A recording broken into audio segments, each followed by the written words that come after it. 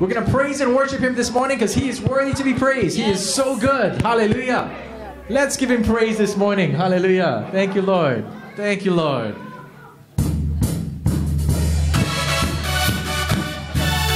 Let's turn up the praise for the Lord. Hallelujah.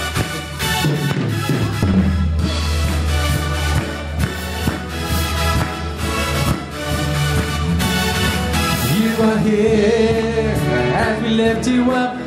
You are riding on our praise. Hear the sound and over everything. You are seated in our praise. This is prophetic, I can feel it in the air. We lift our praise and you change the atmosphere. With hearts open now, everybody sing it out. Oh, oh, oh, oh turn it up. This sound of praise, make it louder than any other. Lift him up and shout his name over all as we praise. I feel the change as your presence now invades. Hear the sound of the broken chains. Prison doors are giving way. This is I can feel it in the air. We lift our praise and you change the atmosphere. With hearts open now, everybody sing it out. I am free. Turn it up. This sound of praise.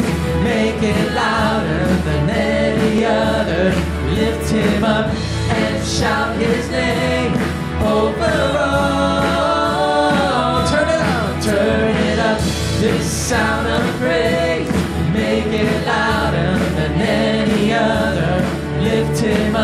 and shout his name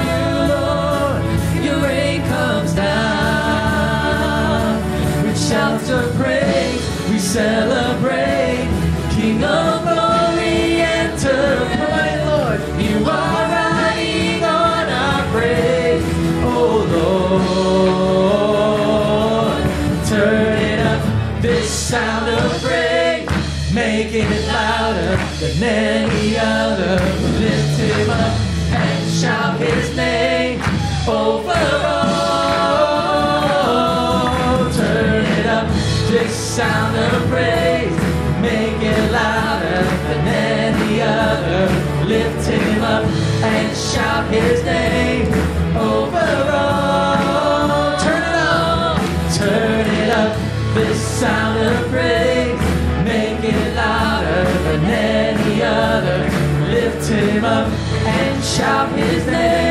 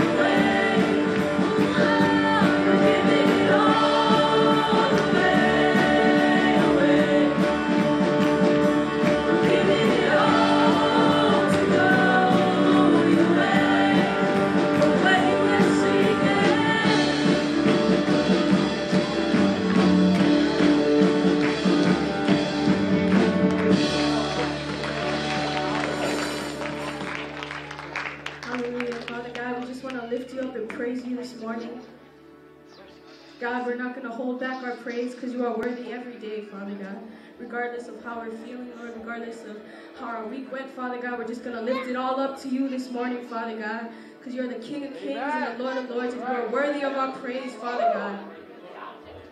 Hallelujah.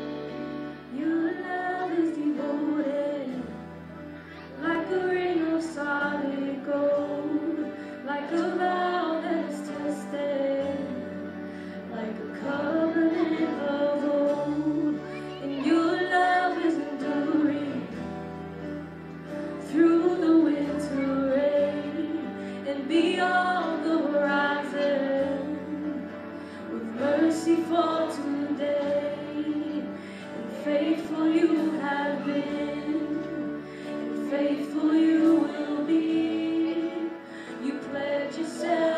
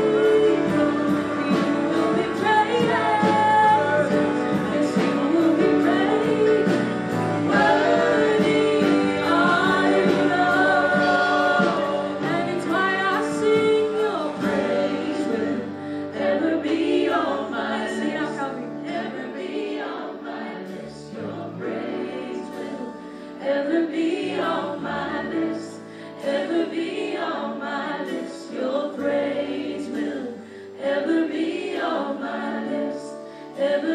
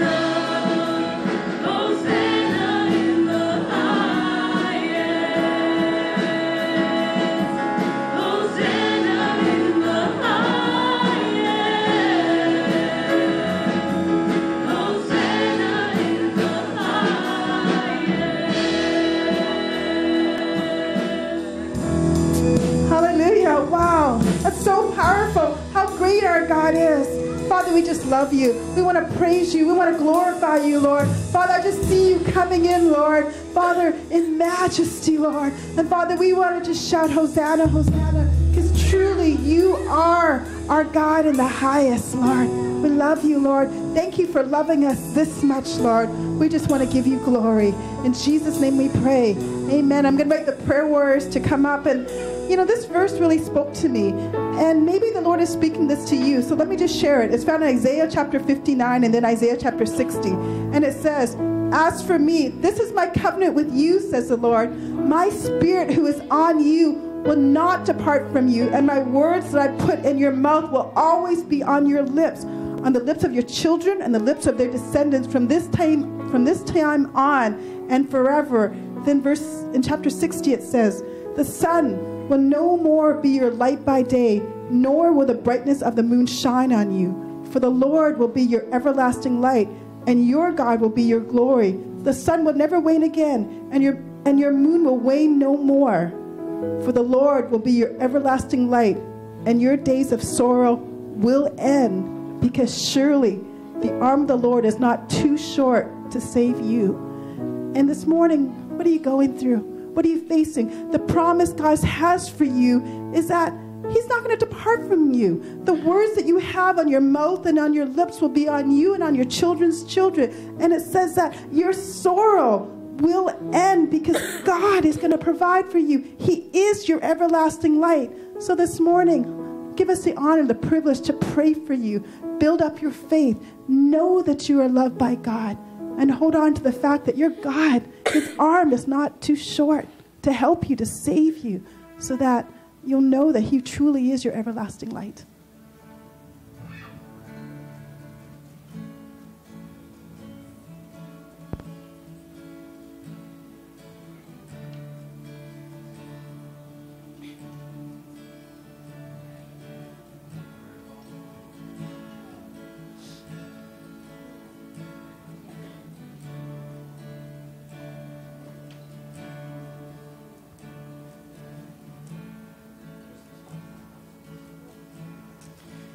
Jesus, we love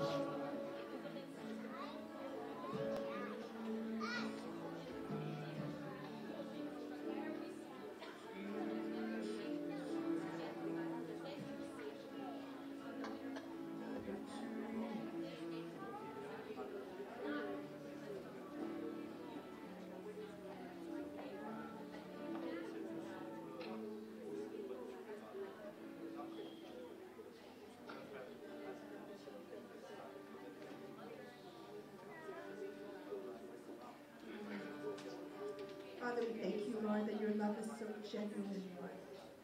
Thank you, Lord, that just like that word said, the days of our sorrow will end.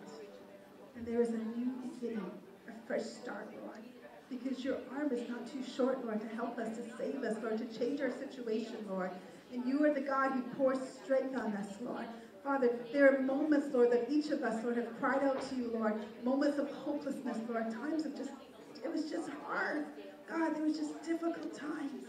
And yet, Lord, Father, you have heard every cry, Lord. God, you have heard the brokenness of our spirit, Lord. And you have reached out and put your arms around us, Lord. And, and you have confirmed over and over again that we are called, that we are loved, that, that, that, that your presence is with us.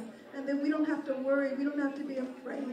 And that there's going to be another season, a better season, a fresh season, Lord.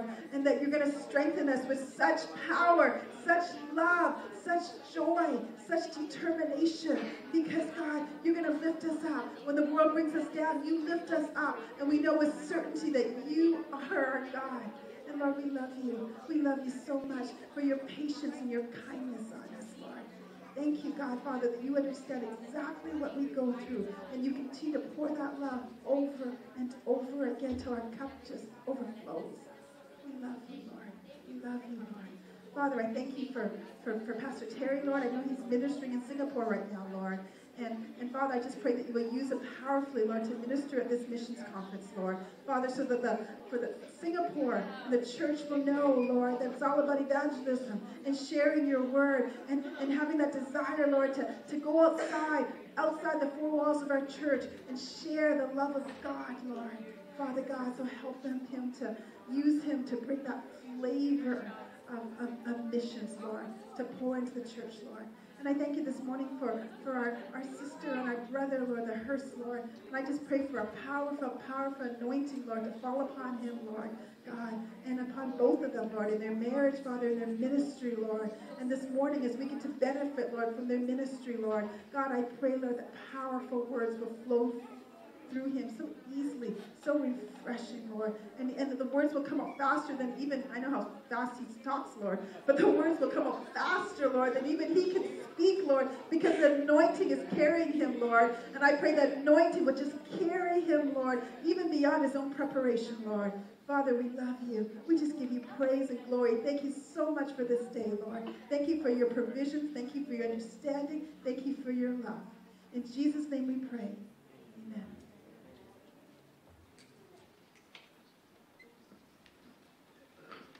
Oh, y'all sit it down already.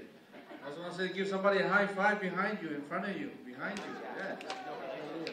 God is good, and all the time.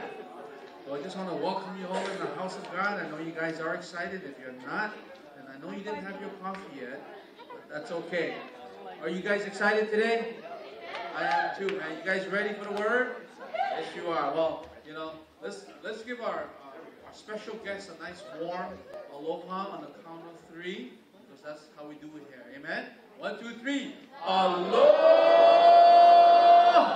Give them another hand.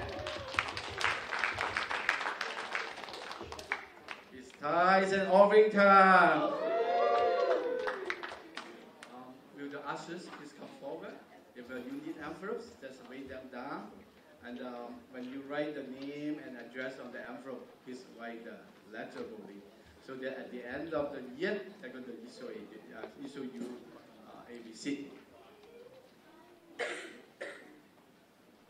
How many of us has gone for the school reunion?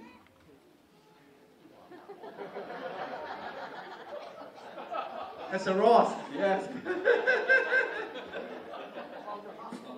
okay, uh, usually the, um, for the uh, school reunion, we have a 10th year reunion, 20 uh, re- reunion, 25th reunion, 30th reunion, and 35th uh, reunion.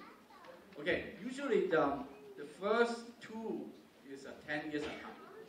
But after that, it will be five years apart because the people are dying off. okay. I still remember on the 10th reunion. Okay, when we have a reunion, we usually talk about, okay, did we go to the, the prestige school uh, on the mainland? uh, how much we are making, and we always brag about we are doing well. But the, after the 35th year, our attitude is different. Okay? We always uh, show our, uh, from our cell phone, oh, how cute is uh, the uh, grandson? How beautiful is your granddaughter? Right? We think about the family now. We are not ta- talking about the wealth. Okay? As a Christian, okay, same thing. After that we become a Christian, that we learn about love your family. Really love your family. A lot of times, the love is really most important thing. Okay? And uh, um, I love my family. And the blessed that uh, God really blessed me with uh, three sons, uh, three beautiful da- uh, granddaughters, uh, three beautiful da- uh, daughter-in-laws, and um, two grandsons, and three granddaughters.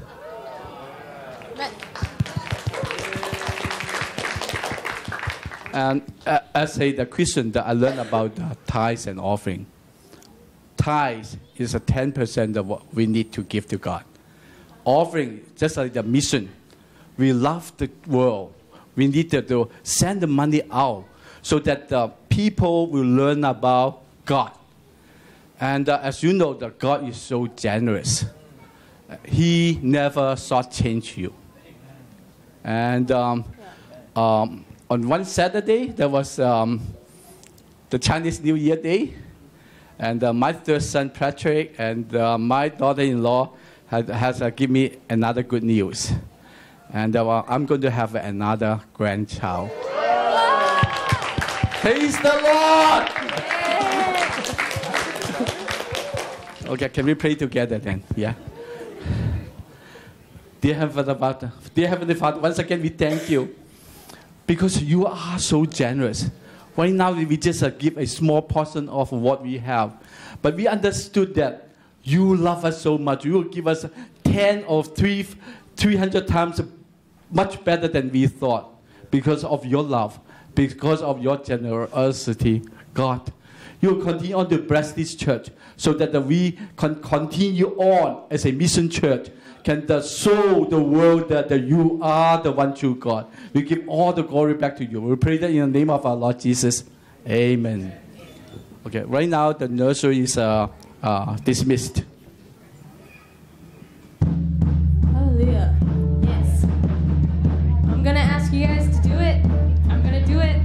Can you guys stand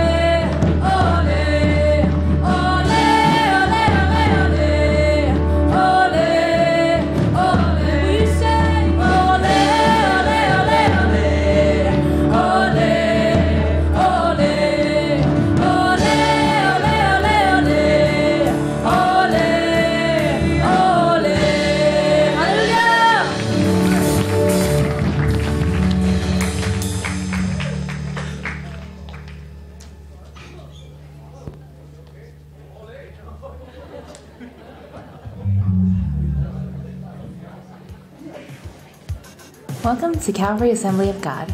We're glad you're here today. We are a spirit driven and life changing church. That you'll be blessed by God's presence and word and by connecting with us. Here are this week's announcements.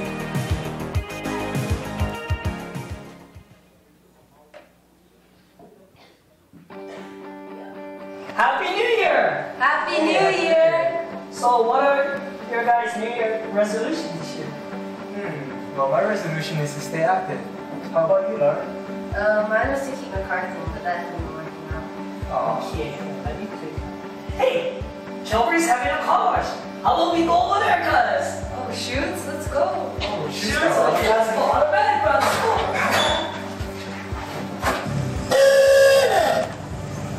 You guys here for the car wash? Oh, you see Ruby over there? Yeah. She will give you free musubi. Aloha, welcome to Calvary Car Wash. Here's your free spam musubi.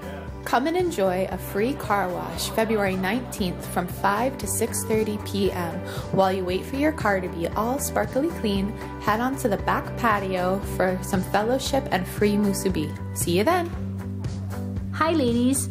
Oahu Hawaii Women of Purpose is hosting a girls' night out for women and girls of all ages from all over the island to enjoy a night out. Mark your calendars for March 10th at 7 p.m.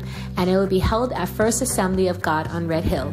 This awesome event is free and is a fantastic opportunity to hear wonderful testimonies, stories, and just laugh and enjoy each other's company.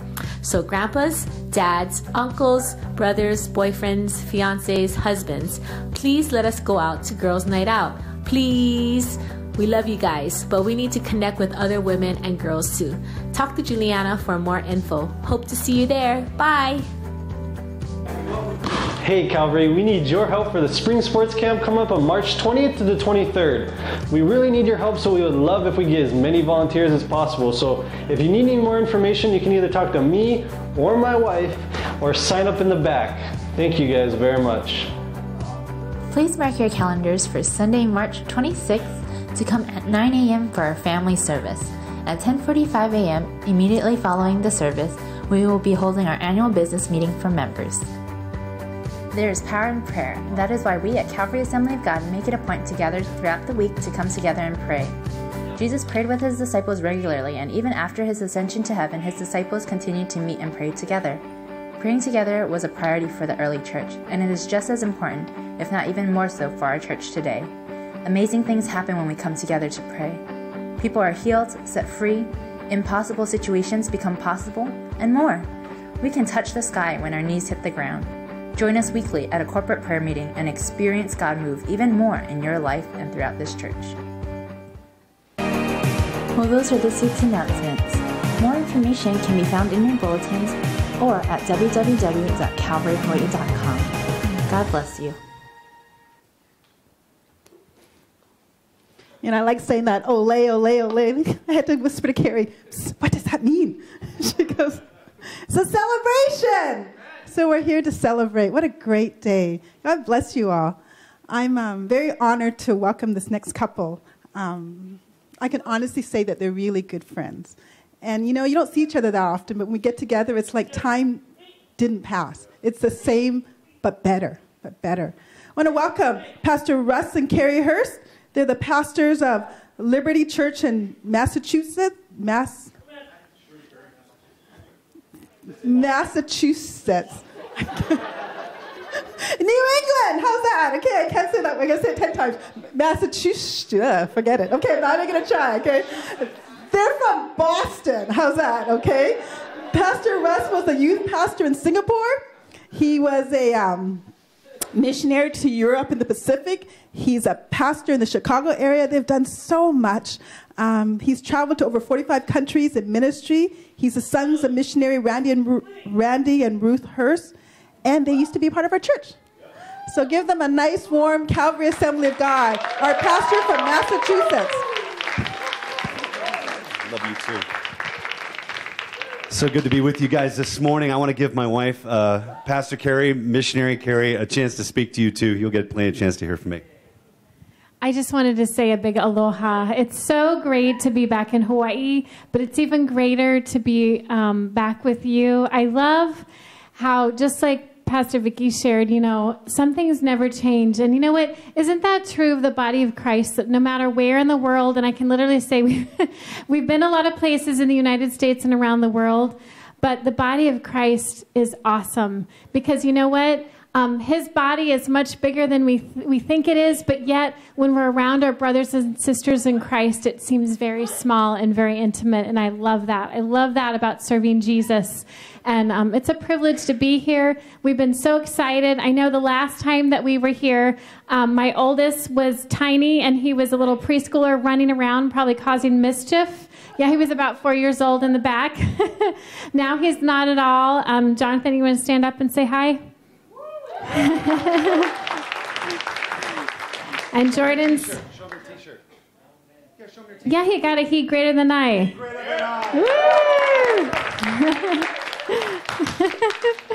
He's really upset at us right now. it's okay. he would have loved it when he was younger, not so much now. Um, but my our youngest Jordan is ten now, which she was the little she was the little um, baby in the nursery, and um, so many people loved on her, and all of you loved on us so much. So it's wonderful to see you again. God bless you. Um, we just want to say a big aloha from the mainland. It's great to be here, and it's not. It's great to not be in snow. We left two feet of snow, so I'm really happy about that. God bless you. Thank you. Just to give you an idea, we had this much snow in my front yard. And I have a, a snow blower that looks like a small semi truck. And it snowed so much before we left, it barely even got through it. And I was like, praise God, we're going to Hawaii. And uh, I gotta say, if you don't know how to say Massachusetts, we barely know how either. Uh, say Massachusetts. Okay, it's so good to be in a church that says shoots. And the number one greeting guest ministry in the world gives away spam musubi, and that's Calvary Assembly of God. I've already bought three spam musubis that my wife didn't even know because she doesn't understand why I like it. She'll grow into it. And none of them were any good. And I know I was like, I know at Calvary Assembly I'm going to get some good spam musubi. So God is so good. Um, we've been saving up frequent flyer mileage for 20 years so we can be here. And I wanted my kids to be old enough to be able to enjoy it and to remember it. And uh, also at the same time, please do not post on Facebook or anything that we're here because uh, I've preached in over 40 some of our Assembly of God churches in Hawaii. Uh, we have lots of friends and lots of churches, so we can't see everybody in eight days. So we're like, hey, Pastor Terry and Pastor Vicky are our two closest friends in Hawaii. We're going to see them. We're going to go to our go to their church. We were all excited, and then uh, Pastor Terry called me because I told him we're coming on this day. We need to go out to lunch. We need to hang out. And he called up and he said, um, I need to ask your permission. I said, What? He goes, And before I ask you, I want you to know you can say no because we've been looking so forward to being together with you, and I know you with us.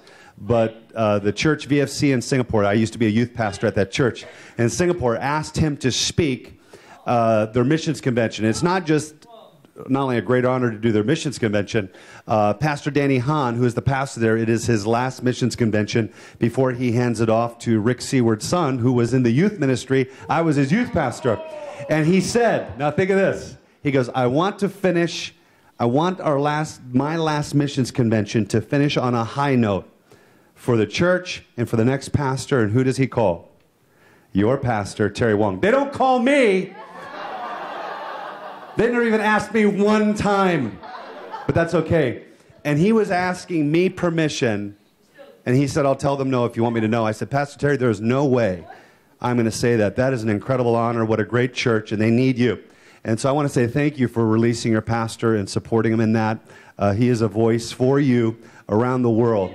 And uh, I got a compliment for your pastor. Uh, one of my youth, when I was a youth pastor there for almost five years, one of my youth messaged me while he was preaching. So you want to hear a compliment behind his back. Yes, such a timely word. I'm excited to hear this message and I'm going to buy his book Missions Power exclamation point. I've been to missions once when I was 21. This is one of the youth I was closest to. I've been to missions once when I was 21, and if God asks me or leads me to go to missions again in the future, I will go. She's married and she has kids, but she's ready if that's what the Lord wants. Send my love to Carrie, my wife, and your lovely kids. God bless. And I said, Hey, uh, great to hear from you. Da, da, da. Just let me know how the service went. She goes, It was really good. And I have a new revelation about mustard seed. Powerful message about mustard seed faith! Exclamation point. If there is a church that has heard more messages on mustard seed faith, is that church in VFC. So I didn't think there would be any new revelation possible at VFC, but Pastor Terry has done it. And uh, I know that he's just challenging that church. Pastor Rick Seaward said, Your church is even doing greater things per capita than our church. We need you. What a great compliment on you as well. We love you. We love Pastor Terry and Pastor Vicky. I hope you realize how blessed you are. Hopefully, you know that. I want you to turn with me to Acts chapter 4. I want you to hold your finger right there, and we're going to talk about a special person. Before I tell you his name, I want to ask you a question What's in a name? If you think about it, names are kind of important. If everybody in the world was named Russ, how depressing of a world would that be? Hi, Russ. What's your name? Russ. I want to introduce this uh, great girl. What's her name? Russ. Have you heard about that other girl? Let me guess. Her name is Russ. I mean, it would be horrible, right? I mean, so names, first and foremost, they differentiate us between us and everybody else. But more importantly, whether you like the sound, anybody like their name? Raise your hand. You like your name? All you with the Hawaiian, K- uh, Lakahiki, I mean, those are just awesome. Hey, I got a long enough name, I can fill up the back window, right? But anybody else that you don't like your name? I don't like my name. It just, Russ sounds like you have an upset stomach. You know, Terry would be cool. Anything would be cool, better than Russ. But it's not just the sound of a name. I want to ask you when people hear your name or speak your name, what do they think? What is the connotation? What is the feeling? Because your name represents you. When somebody speaks your name, they are speaking the essence of who you are. Now, there's some great names that are kind of funky, cool, and stuff like that. You're the Samoan Church under the freeway. I don't know if we have any Samoans here, but Samoans can give their kids some cool names. I know these two twin girls, they were born, and the mom was having, you know, the, the kicks and stuff. She's going into labor, and they were at a national park, and they named their daughters National, and they named their daughter Park. And about 16 years ago, before I even met my wife, I was preaching at the church, you know, under, under the freeway, right here, you know, Hawaii First Samoan Assembly of God. And there was the biggest two year old kid I've ever seen. He, he looked like he was five. And he was even big for a Samoan. Are you ready for his name? Pumbaa. And I go, How can you name your kid Pumbaa? Are you ready? Because they were watching The Lion King when she started having her, you know, kicks and stuff. And Pumbaa was their favorite character. And I'm telling you, that kid is going to be in the NFL if he isn't already. That kid was gigantic. So when you say a name, it's not just the sound, it also can represent something important. But well, let's get back to the seriousness of it. When somebody says Russ, what does it mean? When somebody says Carrie or Terry or Jonathan or your name, what comes to their mind, what comes to their heart? Listen to what God's word says about your name. Proverbs 22, verse 1 says this A good name is more desirable than great riches. To be esteemed is better than silver or gold. One of the most wealthiest things you can ever attain in life is a good name, and that comes from a good life. What kind of impact are we having on people? When somebody speaks our name, what are they thinking? The person we're going to talk about today, his name was Joseph. It was a common name, it's a good name, it's also a biblical name, right? I mean, Mary and Joseph, and then you have Joseph in the Old Testament. I mean, it was a very important name. But he's not remembered for his name, he's actually remembered for his nickname, and his name was Barnabas. Now, names are one thing, nicknames can get really scary, right? We all would like to name our own nicknames. I'd like to give myself my own nickname, but you can't do that. Other people have to give you the nickname, and sometimes our friends are not very kind, are they? You know, if I had a nickname, it'd be Slash, you know, or something cool like that, right? And when I was uh, going back to my youth uh, group in Singapore to speak after I left as a guest speaker, it was right when the Incredibles movie came out. And these little Chinese kids came up to me and gave me a nickname. You look like Mr. Incredible. And I was like, that's just absolutely depressing, right? I'm like, these Chinese kids, they, they just see an Ang Mo, they see some Caucasian guy, they don't know any different, whatever. Then I come to America, to my own people, to the Anglo world, right? And kids are going, you kind of look like Mr. Incredible. I'm like, how did I why can't I be like Tarzan in the Disney cartoon catalog, right? But they're nicknames. How many of you had nicknames given to you? I got all sorts of them. I was called Wusty. I was called Rush. Are you ready for one? I was called Rustalini Buddha Belly by my be- best friend. Why? From too much spam musubi, right? But if you could give yourself a nickname, what would you really want to be called? What would you want to represent you? Barnabas is the nickname of the person we're going to talk about. And I want you to see he is the first named mentioned in the Bible after the great promise of the Holy Spirit from the Old Testament, the promise from the prophet of Joel that God was going to pour out his Spirit on men and women. He was going to make our bodies the temple of the Holy Spirit. He was going to saturate and fill them with the Spirit of God. And this happens in Acts chapter 4, verse 32 and this overwhelming joy and boldness and power begins to become active in the believers lives because of this spirit. And this whole revolution of love and commitment to each other and to god happens. Look what happens in verse 32 it says all the believers that means the whole church were of one heart and mind and no one felt that what he owned was his own and everyone was sharing and the apostles preached powerful sermons about the resurrection of the Lord Jesus, and there was a warm fellowship among all the believers and no poverty. For all who owned land or houses sold them and brought the money to the apostles to give to others in need.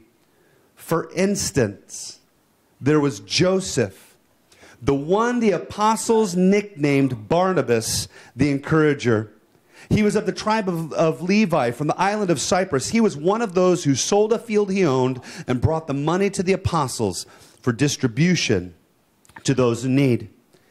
So, who is the one person that demonstrates a spirit filled life full of Christ, who epitomized everything that God was doing collectively among thousands and thousands of people in the church? Whose name rose to the top?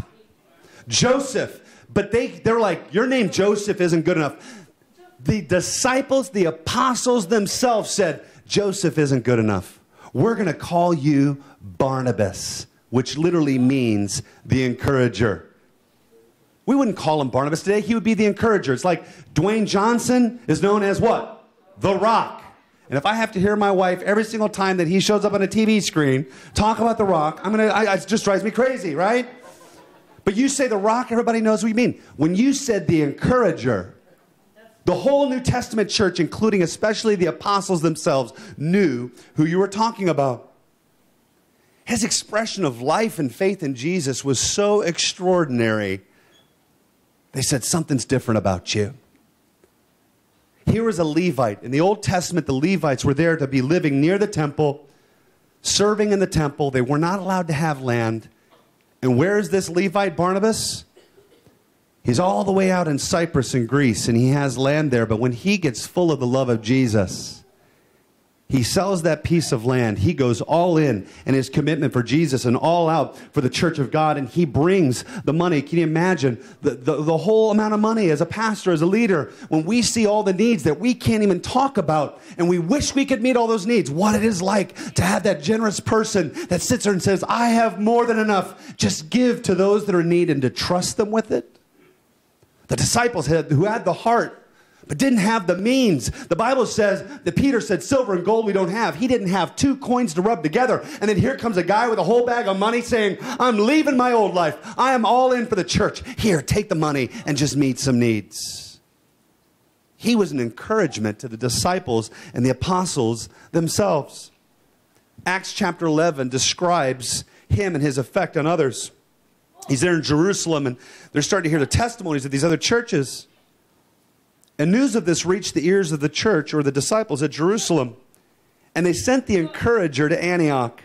When he arrived there and saw the evidence of the grace of God, he was glad and encouraged them all to remain true to the Lord with all their hearts. Listen to this. He was a good man, full of the Holy Spirit and faith, and a great number of people were brought to the Lord. When you say that word encourage, what is it talking about? The dictionary describes encourage as this to give active help or to raise confidence to the point where one dares to do what is difficult. And that's what the encourager's ministry was. He encouraged through several means. First of all, you got to know what his name was in the Greek. Are you ready? Parakaleo.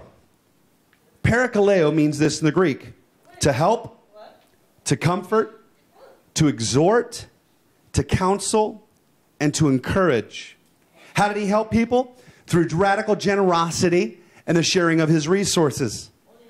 How did he comfort people? The Bible says through powerful ministry and his ministry of praying for the sick and them being healed. He also did it through regular encouragement, through, through the edifying or the strengthening, the exhortation of God's word that he was speaking into people's lives effectively. And then also just through evangelism itself. It says a great number of people were coming to know the Lord because of a guy named the Encourager or Parakaleo. Do you want one of the names of the Holy Spirit is? Paraclete. Paraclete means the comforter, the helper. So, literally, when the disciples were giving him a nickname, it wasn't just the encourager. They were saying, You are, I want you to hear this, you are so full of the Spirit of God, you're just like him.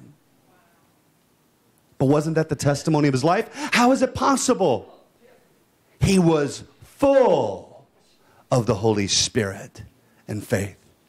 See, it wasn't something that he faked. It wasn't something that he manufactured. It was something he became and the intimacy and, and the relationship that he had with Jesus. What did Jesus say when he was speaking about the coming of the Holy Spirit like this? He says, Out of you, speaking to every single one of us believers, out of you will flow rivers of living water, rivers of me. And that's who he was. There was something so special about Barnabas or the encourager that he was infectious. He literally changed other people around him for the better. Then in Acts chapter 7, a second person comes on the scene named Saul. Saul's name meant the asked for one. And the first several scriptures that we see about Saul strike not only terror, but it actually strikes anger into our hearts to see what he was doing to those that we love in the church. God's own testimony about him in quotes is this Saul was in hearty agreement to the stoning of Stephen. Saul began to destroy the church. This is what God's testimony was of this man. He began to destroy the church, and we see Christians fleeing for their lives. Saul began to breathe out murderous threats to all those that were following Jesus in the way. And what was Saul doing? The Bible says that he was tracking men and women down in the country. He was looking for Christians that were fleeing his persecution so he could get them in chains bring them back to Jerusalem, and he was hoping that they would get the death penalty from the religious leaders. Can I tell you that Saul was the Osama bin Laden of his day?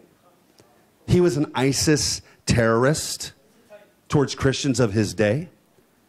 Except, unlike Osama bin Laden, who hid in a cave and let other people do his dirty work for him, no, no, he was more like the ISIS sort. He wanted to do it himself. He loved to inflict pain on the church, he loved to even put women in chains. And nobody saw the potential in Saul. And in Acts chapter 9, Saul's on the road to Damascus and he is struck blind. You can read this in the book of Acts. He was struck blind by the Lord. Jesus appears to him in his bright light and glory, and Saul becomes blind. He becomes terrified. He's in the city. He does not eat or drink. Can you imagine? I don't think too many of us could do this. Eat or drink for three days. He's afraid to die. And the Lord says, I'm going to send somebody. He goes, Who are you? You're pers- who, why are you persecuting me? And Jesus says, I'm going to send someone. And then Jesus sends a believer to him that prays over him, and he is healed. And then the believer leads him to Jesus Christ. So Saul becomes a Christian. And the Bible says the immediate effect of it was not he was a terrorist and persecuting Christians, and now he is evangelizing, he is preaching the gospel, he is boldly telling people about Jesus Christ in this very city, right? And so effective was Saul's ministry that the people in the city wanted to kill him. So he has to sneak out.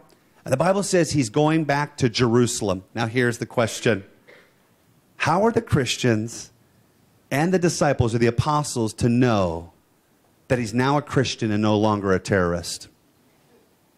They can't. They didn't have cell phones. They had no way to get that message across. Look what happens in Acts chapter 9, verse 26, and we see the encourager and Saul intersect.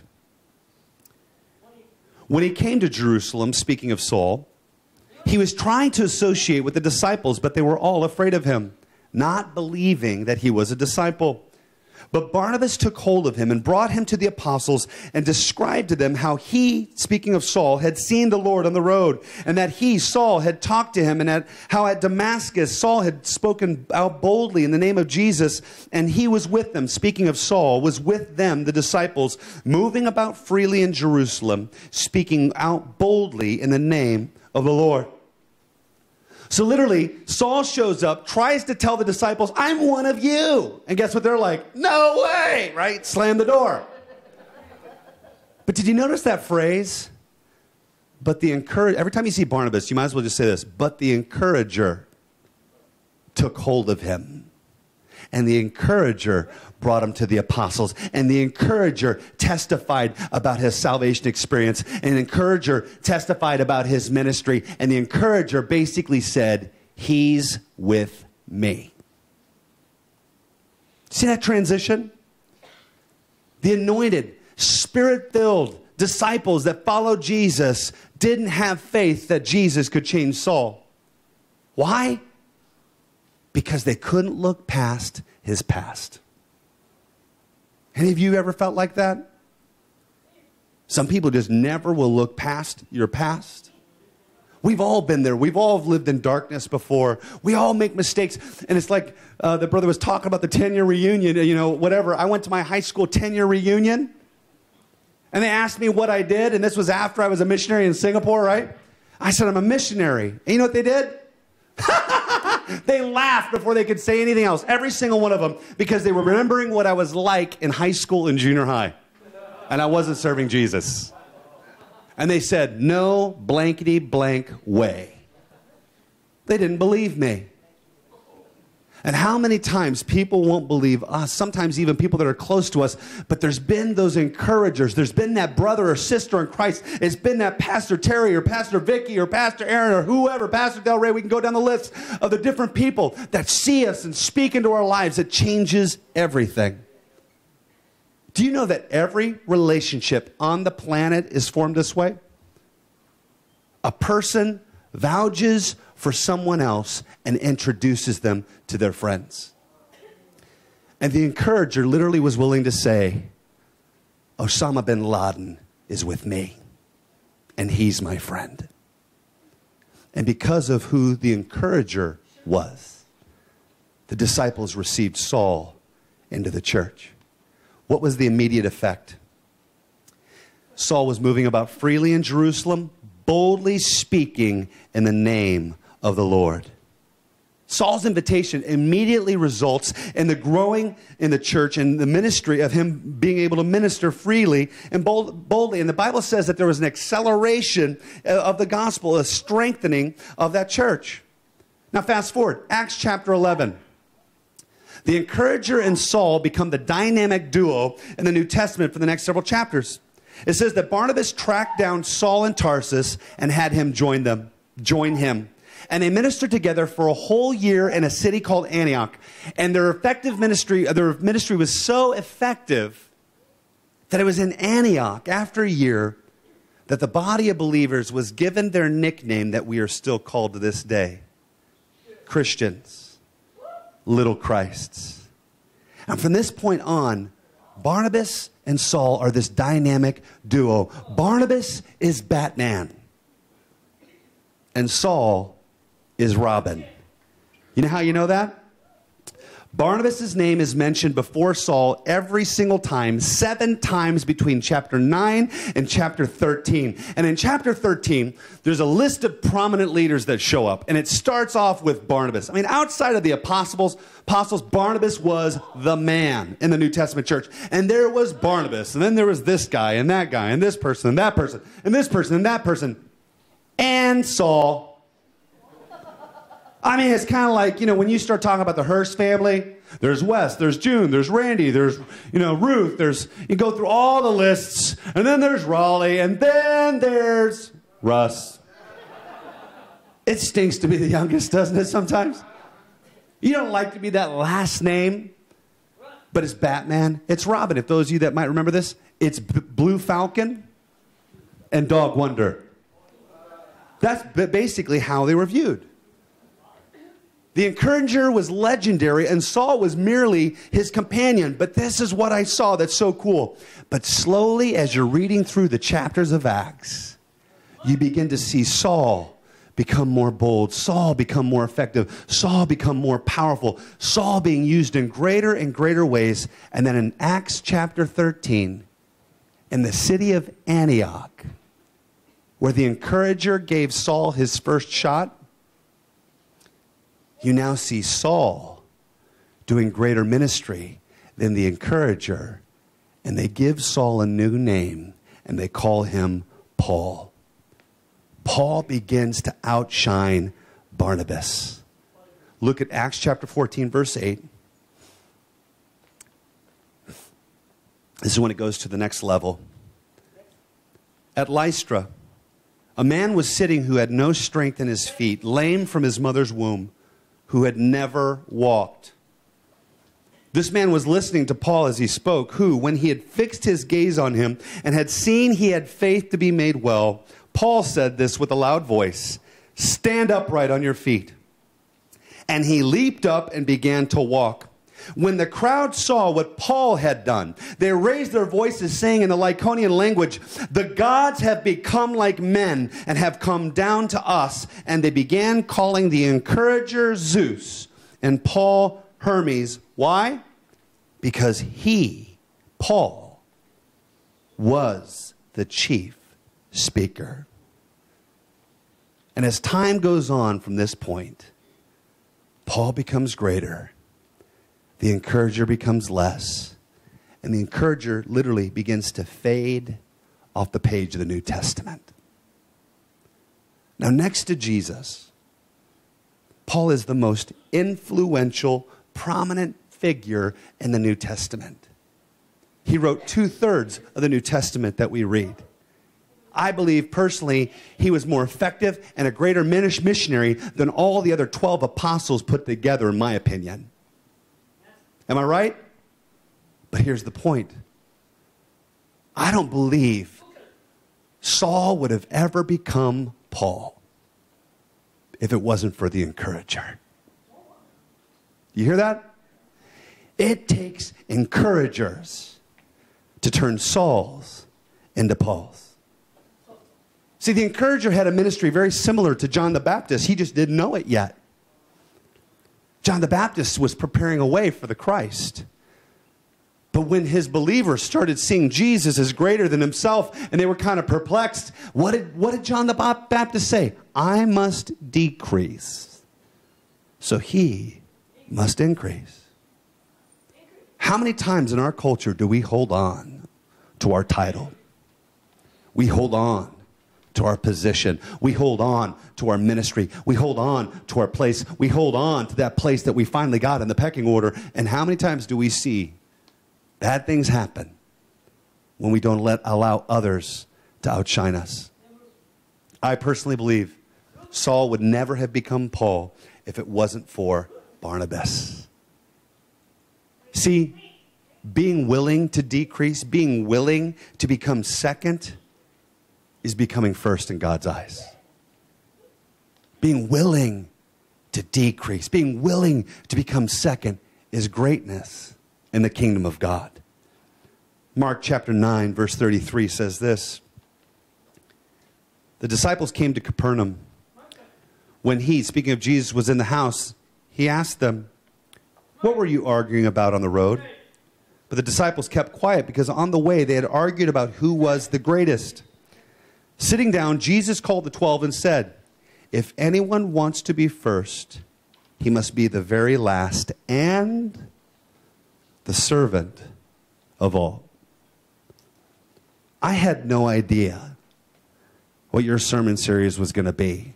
And I already decided in my heart I was going to speak this message.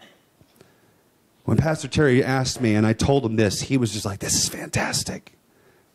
This is exactly what we're getting ready to go into in our sermon series at our church. You want to be great in Jesus' eyes? You want to be great in the kingdom of heaven? Then you have to be willing to be second. You have to be willing to be the servant overall. This is what I call descending into greatness. But it's hard for us, isn't it? We all want to be first. Every culture, we want to be first. When I read the New Testament as an early believer, I got a heart, I want to reach the world. I got a heart, I want to reach the nations. I want to reach millions. I want my one life to matter. I want my one life to be maximized for eternity. So, who do I want to be? Paul. But if I was honest, who was I like? Peter. Peter talked a lot. Peter said a lot of stupid things. But Peter had a heart for God. I have a heart for God. Peter was incredibly strong in some moments, but incredibly weak in others. Peter was inconsistent. And yes, Peter has his own story about how he finished well. Jesus said, No, no, no, I'm going to do that work in you. And when I'm done with you, you'll be taken where you do not want to go and be clothed with what you don't, don't want to wear. Be- Speaking of the death, and he was crucified upside down. And God strengthened Peter to become that rock. But how many of us, when we read the Bible, we want to be Paul? But if we're honest, and if I'm honest with you, I'm not Paul. I'm not smart enough. I'm not talented enough. And to be honest, I'm not crazy enough to pull off some of the stuff this guy did. I'm willing to say almost no one in this room will ever become like Paul. But every single one of us can be an encourager. I was just reading my Bible, studying one day, and Barnabas came out. At the end of it, I'm like, you know what? I know I'm not like Paul, but I am like Barnabas. And I'm satisfied. You know, just today, I got up super early. We're in jet lag. We do Facebook Live for our services. So I wanted to see what's it going to be like without me, you know? when the cat's away, do the mice really play, you know? So I put on the Facebook, and our worship did great. By the way, your worship team is just getting better and better. I mean, that was fantastic this morning. I want to let you know that. And uh, we hired two young pastors. Actually, three of the four that we have are all really young. They're millennial age. The oldest one's 26, the other ones are like 23. And they're really young. And I felt in my spirit that we were supposed to have the fresh out of Bible college kid, who's our assistant kids pastor and our assistant young adult ministry pastor, that he's going to be preaching in my absence. I'm not as smart as Pastor Terry, where he makes sure he's here with every single guest. I trusted him. I'm just like, I just believed it was God. And can I tell you, I got on there and I watched him, and I'm supposed to be prepping for the sermon here, and he is doing so well. I mean, he knocked it out of the ballpark and finished 10 minutes earlier than I ever have. I think he preached better than the last five, ten sermons that I preached. You think I care? No. I'm thrilled because I believe in him. He was nervous. I said, Man, we believe in you. I wouldn't have hired you if I didn't think you had the goods. Now, I got to tell you, the Holy Spirit still had to speak to me to have to ask you because I got two other people I know that can deliver the mail and not rock the boat every single time while I'm gone. But I'm trying, I mean, he's never done any of this before. This is the big stage. I mean, he's like, I mean, his mama, he's Nigerian, by the way. His mama's a prayer warrior. She was praying him through in Jesus' name. And I celebrate his victory. And I celebrate the wins of my staff. And I see out of the two, two young men right there, they've got better talents and giftings than I ever have had. And I'm thrilled because I want to see them knock it out of the park. I want to see them fill our church. I want to see them maybe pastor some other day and blow that out of the water. And I want to say someday I at least encouraged them and gave them their first shot. All of us probably will never become a Paul, but every single one of us can have that ministry of encouragement, and that is the ministry that God is calling His church to. Amen? Amen. I want to show you five ways to become an encourager through the example of the encourager. Number one, you believe in others when no one else does. We are very quick to judge with what we see visually. But how many of us will, will invest ourselves and vouch and, and align our lives with somebody that hasn't proven themselves and we say, You've got the goods. I see greatness in you. Instead of looking at people's faults, our American culture is getting so bad at this. We are so judgmental, so critical, so quick to point out the negative and magnify it and maximize it to where we destroy people. And instead, we need to be like Christ, who saw these loser fishermen and tax collectors and prostitutes, and he saw the potential in them. And he believed in them when nobody else would. When the, when they were, the disciples were rejected from the rabbinical schools because they didn't get good enough grades. Those of you that know streaming, they were the rejects. And Jesus like, no. I believe in you, and I'm going to build my eternal church on you, and there are going to be 12 gates in heaven named after you. Amen. There's going to be 12 thrones. I'm sorry, the 12 gates are actually named after Israel, but the, the 12 thrones with the disciples. Number one, believe in others when no one else does. You know the last record we see of the encourager? Him and Paul are getting ready to go on their, their next missionary journey, the last missionary journey they did together. And there was a young man named John Mark that wanted to go with them.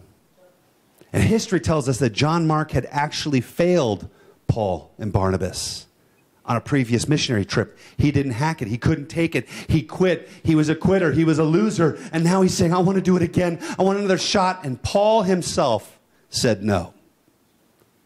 But the encourager took hold of John Mark and argued for John Mark with Paul. Now the encourager's below Paul and standing, but he's sticking up for John Mark. And Paul and Barnabas have such a heated dispute that Paul left with Silas.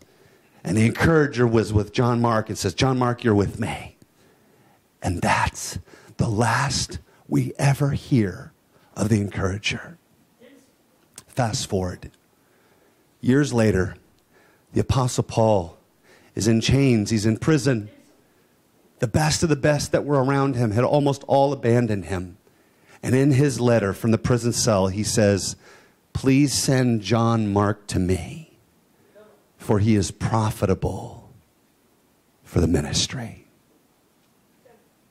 Paul finally saw what the encourager saw years ago, and it was Paul's way of saying to the whole church Barnabas, you were right, and I was wrong. Do you know who wrote the book of Mark? John Mark. That's a whole sermon alone just on John Mark's life. Believe in others that no one else does. Number two, see others for who they can become. It's not just believing in others, see others for who they can become. You need to see them prophetically. Don't just see them where they're at. Don't just see the potential that's inside of them. See them for where God can take them. We need to be believing in others and seeing in others what Christ sees in us. My dad told me years ago it is the responsibility of the church and its leaders to see the giftings and the future ministries of those of the body. So often we're all trying to figure out who we are in Christ. No, no, no, no. But the spirit of who we are should be uh, out, very real and, and very visible to those around us that have the Holy Spirit in them, that see prophetically the call or the hand or the gifting of God that sometimes people don't even have yet. I use myself as an example. When I was nine years old, I knew that I knew. I had a knowing from God. I knew that I knew God called me into the ministry, that I was supposed to be a minister. And I knew at the age of nine that I didn't want to do it. It's the last thing I wanted to do. I never told my parents. And from the age of 13 to 15, I was horrible. 13 to 20 were rough, but 13 to 15 were brutal. My kids are so much better than I was. Jonathan, no getting ideas. Um, but when I was 13 years old, my father, you know him, he's a very famous speaker. Uh, he's the best speaker of the Hurst family. He's probably one of the top two or three speakers in the American Assemblies of God. Everybody always wants him to speak, so I'm constantly living in a shadow, and to be honest, I don't care. I'm just glad to be somewhat like him. But regardless, as a 13 year old, um, my father was speaking a lot for VFC Singapore. That was when they were running like 8,000. Uh, he was speaking for some other very large churches. And then he was also asked to speak for Cho Young Gi, church of almost a million at that time. So, you know, my dad was a very well known speaker. And since he had several ministry trips right in a row, he didn't want to be absent from the family for long. He thought, it's summertime. Why don't we just take the whole family on a trip? We'll go through Korea to Singapore to Malaysia, and then we'll come back. So we went as a whole family.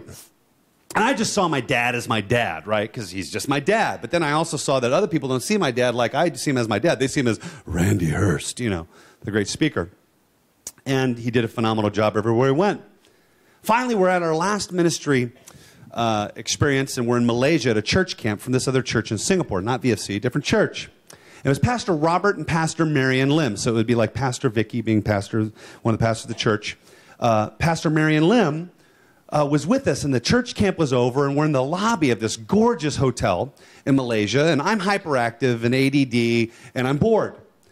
And I hear music, and it's da da da da. I hear this classical music playing in the foyer, and she's right there in front of me, so I just decided, like Barnabas, to take hold of her. And I took her arm and shoved it out, and I started making her dance with me. La, la, la, la. ah, ah, ah, ah. Now, here's this very regal Chinese woman pastor, very proper, with a very fat, crazy white kid in the lobby of this nice hotel wearing t-shirt and bummed out shorts and she's like ah, ah, ah, very stiff very awkward and i'm like i'm having the greatest time of my life and i look over my dad's like i'm going to kill you you know it's like i knew i was in trouble so I finished out the song. I felt like I'm already in trouble, so I finished out the song. And by the end of it, she was having a good time and laughing too. And the song finished, and then I'm like, okay, here comes the punishment. And she stopped. And she looked at me and she said these words The hand of God is on your life. And God has called you into the ministry. And when you go into the ministry, I want you to come and speak for me first. I'm like, how did she get that from what I just did to her? And I looked at her and wanted to I wanted to say, but I didn't say it, but I wanted to say, who told I didn't want my parents to hear. My parents had never, ever spoken to me about going in the ministry. My parents never spoke to me that my mom and my dad knew when my mom was pregnant with me that God had a call in my life. And everything in my life was the exact opposite of my calling up to the age of 20. But a godly Chinese female pastor saw through it all and saw who I would become. I didn't even get saved till I was 20. Now I'm in Bible college. Three years of Bible college. I'm 23. My last semester, we don't have the money to pay for school, and I didn't want to take debt because you don't make money going into the ministry. I mean, you just, you just don't want a lot of debt going into ministry. And my parents didn't have the money. I didn't have the money, and we were going to have to probably take out a loan, which I didn't want to do. And all of a sudden, a check comes from Singapore. 10 years later, from Pastor Marion Lim, and it paid for my entire semester, and she had no clue. Finished the semester debt free.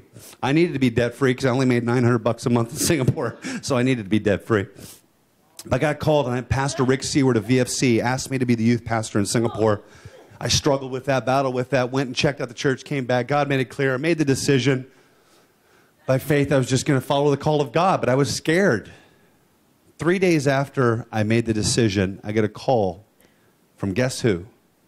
Pastor Marion Lim, asking me to be their youth pastor in Singapore. And I had to tell her that Pastor Rick beat her by three days. And I told her how and why I made the decision. And she goes, I believe that is God. She goes, but I've never been able to get away from what God showed me about you when you were 13 years old. There are many times I do not believe in myself. But I look to the one who believes in me. I look to my parents who believe in me. I look to Pastor Rick Seaward, who is really crazy for believing in me. I look to Marion Lim for believing in me. Because all of them see something that I don't when I look in the mirror. And if it wouldn't have been for the encouragement of those people, I would not be who I am today. We don't need to be Pauls, but we all need to be Barnabases. So you believe in people that nobody else believes in. You see others for who they can become. Thirdly, you speak to others words of encouragement. Don't wait until somebody is getting ready to leave on a plane. Don't wait until they're in a casket and you're speaking words that they can never hear. Being an encourager is so simple. All it takes doesn't take money. It doesn't even really take much time. All it takes is a few seconds and a few words of just speaking potential into other people's lives, and you can change their life forever. Starts off with, I believe in you. Starts off with, I love your spirit. You know, I love the spirit of this church. I miss it. I'm encouraged by your commitment to Jesus. Del Rey, I love your spirit. I don't even really know you. It was the last time I was like, man, I like that guy. It's like, I expect him to pull off his mask like on Scooby Doo. It's like Jesus. You know, Jesus is under there, right? And I would have gotten away with it too if it wasn't for you meddling kids. You know, if you watch Scooby Doo, you get it. I'm encouraged by Pastor Terry and Pastor Vicky. Folks, I've been to hundreds and hundreds of churches. I've met thousands of pastors. And not only do I highly respect both of them, we consider them close friends. And I can choose who my close friends are. Who leaves a life like they did to come to pastor a church in the middle of no- How can anybody find this church before Google Maps? No visibility, no accessibility, no parking lot. Uh, it's a nice building. But who does that? People of faith that are encouragers. You know what? God saw you and your potential. And He brought encouragers to encourage you. And now you, normally this church, nobody would have ever heard of Calvary Assembly outside of the section of Assembly of God churches on Oahu. And now the world knows about you guys. Now, VFC, the number one missions giving church, is saying, no, there's a church greater than we are in our missions giving per person, and we want him to come speak. And we'll let our old youth pastor mop up and speak at his church. I'm just joking about that, but I want you to hear this.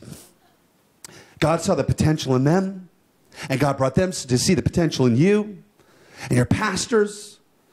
And you guys are living it, you're doing it. How many of you feel refreshed right now? What did it take? A few words. Who are the people that are around you? That God's given you relationship with, God's given you influence with, that you have the ability in just a sentence to change their life. I see God's hand on you. I see your talents and abilities. I could go on and on and on. The two ladies that were singing, man, what a beautiful harmony. That was gorgeous. That worship time was awesome. It's just words. Number four, we're closing. I'm going to invite the worship team to come. Desire for others to become greater than you are. Imagine the number of people that wouldn't have found Jesus if the encourager wouldn't have been willing to lose his prominence. An encourager, a true encourager, lives to see others surpass them. I'm going to finish with my closing verse, and it's actually this and I didn't even know that you had this. If you have, this is Paul speaking. If you have any encouragement from being united with Christ, any comfort from his love, if any fellowship with the Spirit, if any tenderness and compassion, then make my joy complete by being like minded, having the same love, being one in spirit and purpose.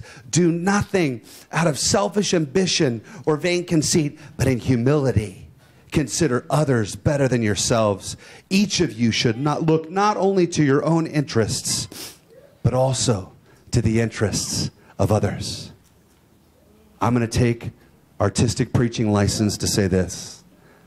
I believe when Paul was writing that, he was thinking about his mentor, Barnabas, the encourager. I want you to stand with me. We're going to close. We've got five and a half minutes left. Right now, would you just close your eyes? I know you guys are committed to the Lord. I know that you love Jesus. I know that you're going all out.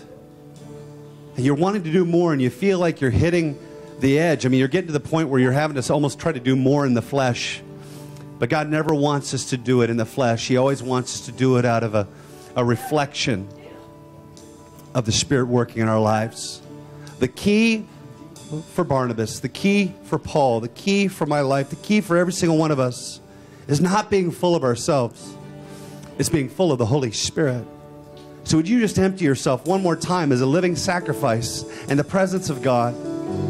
Just say, I'm all yours, Lord. Take everything that I am, but I want more of you. Fill me full of your Holy Spirit. Spirit of God, let rivers of living water flow from within me and through me. Refresh me right now. Let the Lord refresh you in His love. Let Him refresh you with joy and that peace and that satisfaction that you are doing well done, thou good and faithful servant. Let Him just give you that sense of His honoring you in His, in his presence, that He's proud of you. He loves you so much. There's no one that believes in you more than your Creator, more than your loving Heavenly Father. Let Him speak a fresh word to your heart by the Spirit. I'm going to invite the worship team just to do this worship song. I want you to pray and to seek God and to worship Him. And then Pastor Vicky will close us out. God bless you.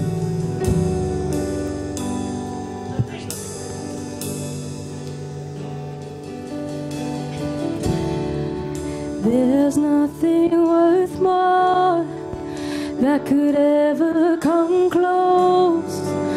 Nothing can compare. You're our living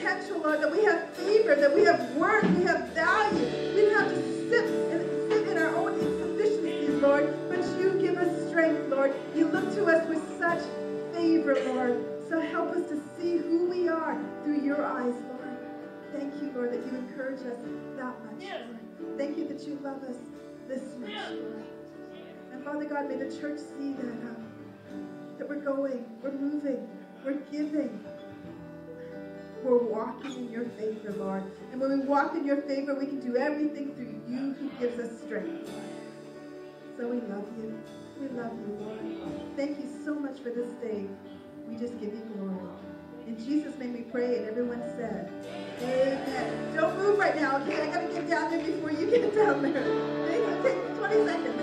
All right, okay, now you can move. God bless you, everybody. Have a great day in the Lord.